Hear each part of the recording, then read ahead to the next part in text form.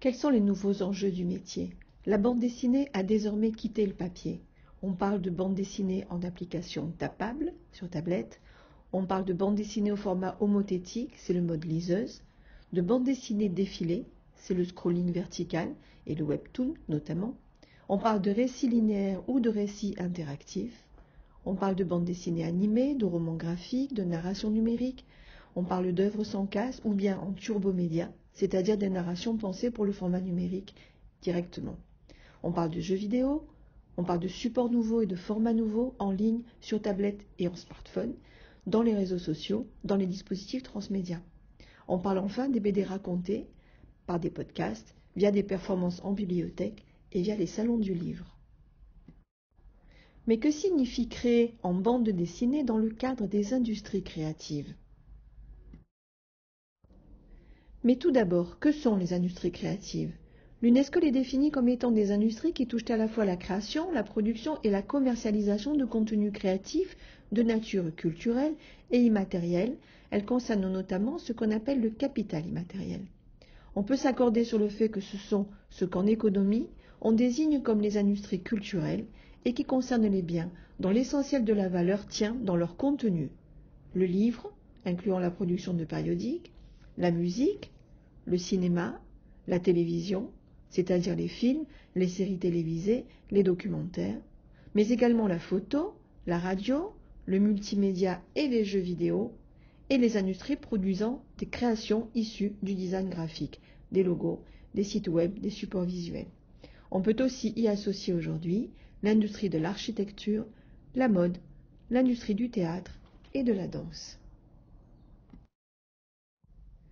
Ce que représente la bande dessinée au sein des industries créatives, les évolutions récentes de l'écriture dans les domaines de la BD et du roman graphique mettent en question et permettent de réinventer la cohabitation entre le texte et les images dans l'espace de l'écran. En effet, la BD rejoint les industries créatives avec l'arrivée de ces nouveaux outils et process, tant au plan de la création que de la diffusion. Cela bouleverse les codes. Des coopérations se dessinent, de nouvelles perspectives se révèlent. Les webtoons inspirent le cinéma pour des adaptations sur grand écran, des séries télé, des jeux vidéo et aussi pour l'édition papier. La bande dessinée inspire le jeu vidéo, c'est l'exemple de Sin City, de Robert Rodriguez et de Frank Miller dès 2005, et réciproquement, le cinéma adapte les albums. C'est le cas pour les séries Marvel, c'est par exemple le cas pour L'élève du Cobu, Les vieux fourneaux, Persepolis de Marianne Satrapi et de nombreux autres le web revisite le reportage journalistique, ainsi Zero Impunity de Marion Gutt, qui figure parmi les précurseurs, et les applications transposent de la BD, avec notamment le magnifique Ici de Richard McGuire, conçu il y a déjà plusieurs années. La porosité des industries créatives se confirme donc. Peut-on parler d'une nouvelle écriture? Sans aucun doute, les pratiques des auteurs évoluent simultanément avec ces nouvelles formes narratives qui associent la BD au roman, au film, aux jeux vidéo et aux applications. On parlera de Florence, de Ken Wong, de L'île aux chiens, l'œuvre de Wes Anderson, adaptée par le célèbre mangaka Minetaro Mochizuki, et également de Falena, ou du Petit vampire de Johann Sfar, scénarisé plus récemment pour l'écran par Rayat Satouf. L'auteur du récit voit ainsi son statut réajusté.